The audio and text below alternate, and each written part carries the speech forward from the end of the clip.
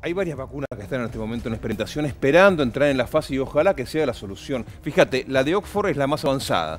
Hace unas semanas atrás se reunieron los principales países del mundo y mantuvieron un encuentro con quienes están llevando, Argentina también, ¿eh? están llevando adelante esa investigación.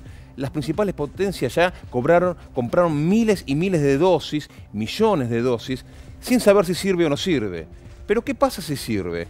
Desde Médicos Sin Fronteras se preguntan, cuando salga la vacuna, ¿va a estar disponible para todos? Ellos exigen, y claro, nosotros también, que así sea.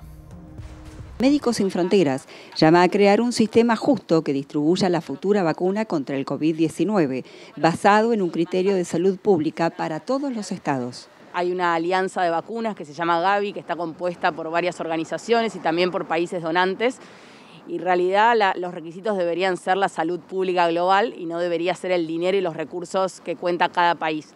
Pero lo que estamos viendo en los últimos tiempos, realmente en la última semana, es que desde Gavi, en el Fondo Global de Acceso a la Vacuna COVID-19, se dividió a los países en dos.